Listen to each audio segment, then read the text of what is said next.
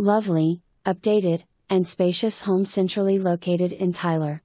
Windows abound in this mid century 3 bedroom, 2 bath, 2 car garage beauty. The living slash dining area is classic with its vaulted ceiling, built ins, fireplace, and stained concrete floors.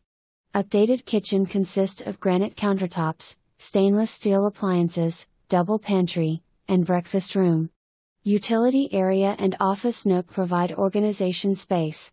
Generous master suite with two closets and sitting area is complete with updated master bath with double vessel sinks, and separate tub and shower.